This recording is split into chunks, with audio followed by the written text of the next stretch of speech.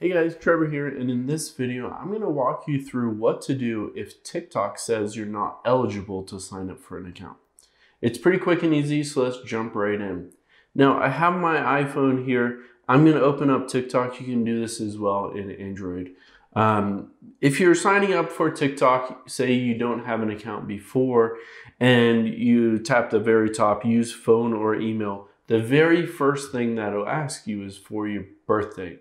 So keep in mind that TikTok has certain rules and regulations depending on your actual age. So when you enter in your age, it might give you a kind of limited access to be able to use the TikTok, but it'll still allow you to use TikTok. It just will limit what you can and can't do if you're under 16 or under 18 or under 13. Um, so there are certain tiers where it'll limit what you can and can't do.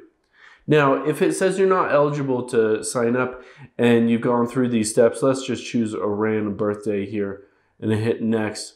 And say you enter your phone number or your email address and it says you're not eligible to sign up.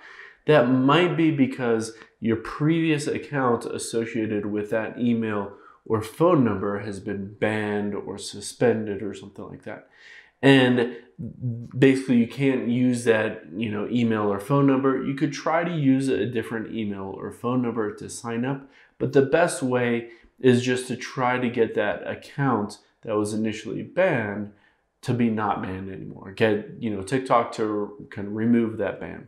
Now what you can do is hit the question mark at the top right here and it'll give you report a problem. And you can tap on the very last option, other here. And then right at the very bottom, it says need more help. So you can go there and you can type in, you know, basically my account has been banned. I'm trying to log into my uh, old account.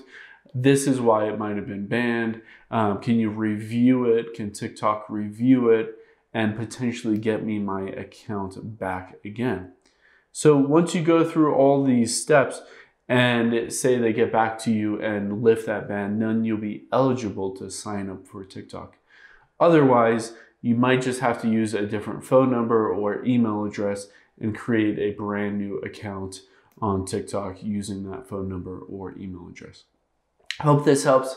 Let us know if you have any questions in the comments below and make sure to subscribe. Thanks.